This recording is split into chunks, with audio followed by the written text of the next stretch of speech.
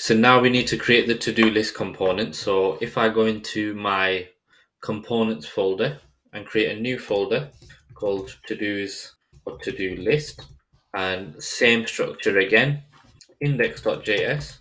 And we also want to create a styles folder, styles file, should I say? Sorry, styles.js and then rfce. This will be called to-do list and in the to-do list, I'm going to have some bullet points. So I'm going to create a UL. Um, I'm going to call this one list container, capital L container. And within here, I'm going to render out all of my to-dos in, in bullet points. So render all to-dos in bullet points underneath. So now if I create the UL, so import styled from style components, export const. The list container, which is equal to styled dot ul, which is unordered list. And this ul is going to have a padding of zero and a cursor pointer, cursor pointer, and that's all we're going to have for this and then I'm going to create a row so export const of row which is equal to styled.li so the bullet points within. And in this li we're going to give it a display of flex align the items centrally and we are going to justify content as space between because we are going to have the delete icon on the far right and then the text on the left. So we just want to space them out e equally. We're going to have a padding of top and bottom for each li of 8 pixels and then 0 on the left and the right. And then the font size will be 1 rem. So 1 rem like so. And that's the row complete. We are also going to have a text field, so export const. So this is where the li will render the text. So export const of text, which is equal to styled dot span. So the text here, essentially what I want to do with the span is I want to capitalize the first letters because it might not be capitalized. So this is a handy trick. So text transform capitalized.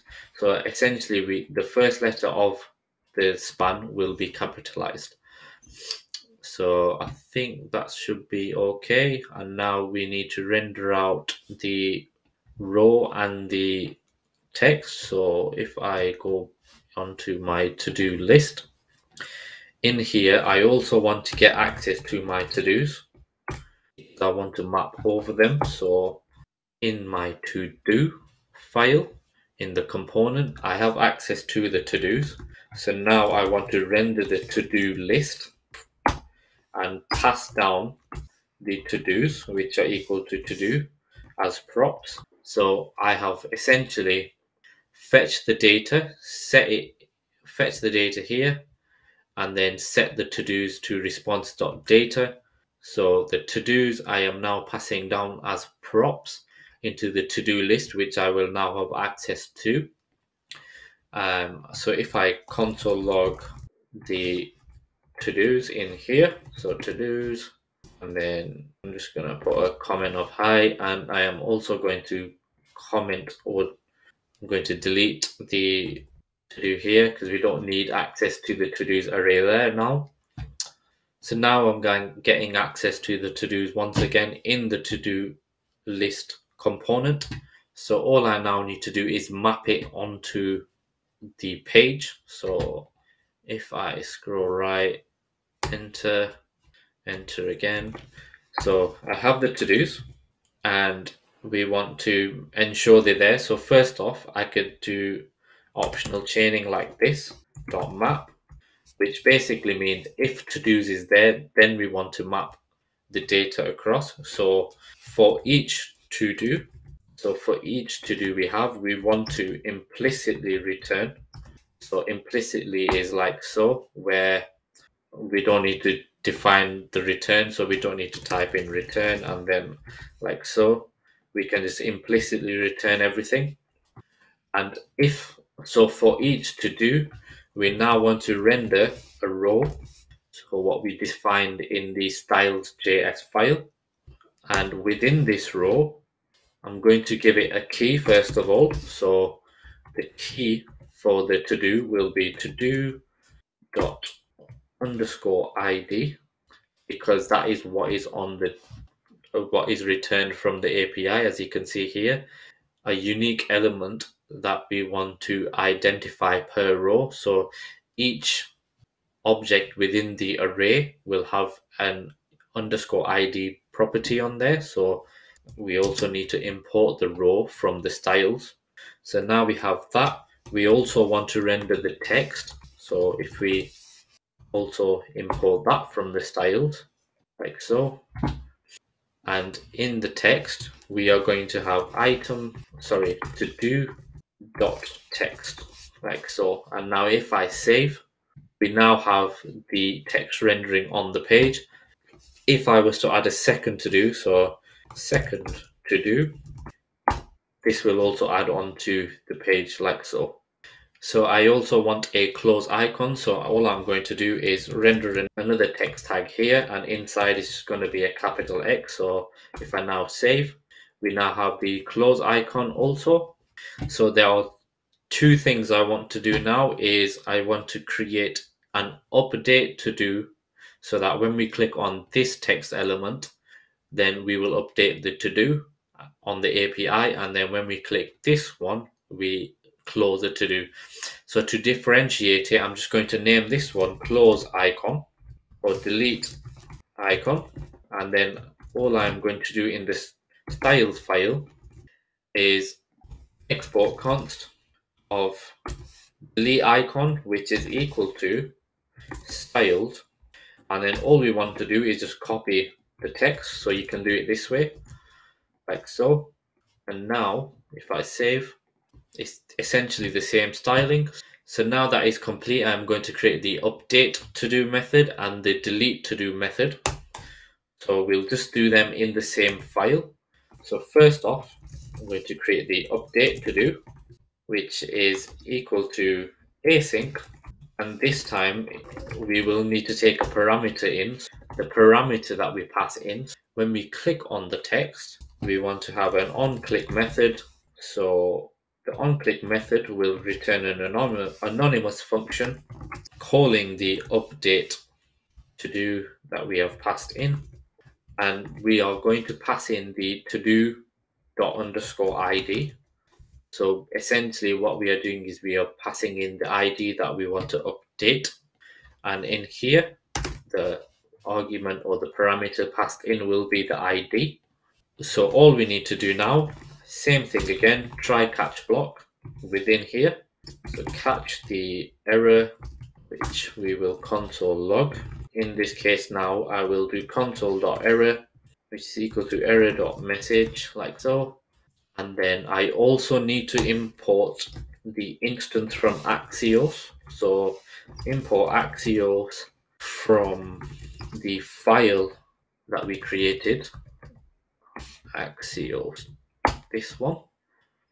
So that within the try block we want to create a response which is equal to await axios dot put and this will take two arguments the first argument will be the endpoint so that will be slash to do's slash the id that is passed in so we are using template literal here to pass in the slash to do slash ID, which is this ID will be now passed to the request.params on the URL.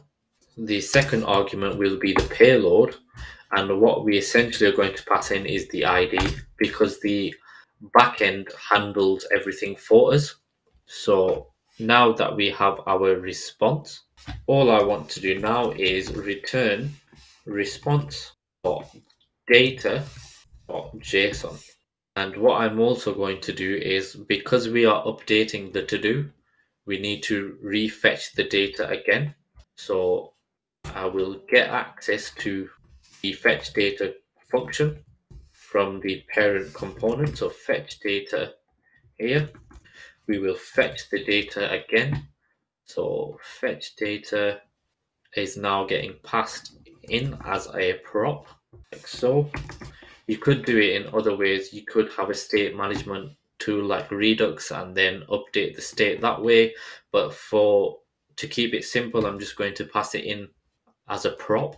So now if I save everything across and save all, and now have the update to do function. And now if I click on this is my first to do and click on it, this should now this is my first to do and the completed has changed to true instead of false. So all we need to do now is mirror this on the screen visually. So I'm going to pass in a prop to the text component. So what I will do is open this up a little bit and then enter, make this look a bit neater. Okay, so the prop I'm going to pass in is called is completed is equal to the completed key here. So we're going to map through the to-dos for each to-do. If it is completed, it's going to be to-do dot completed.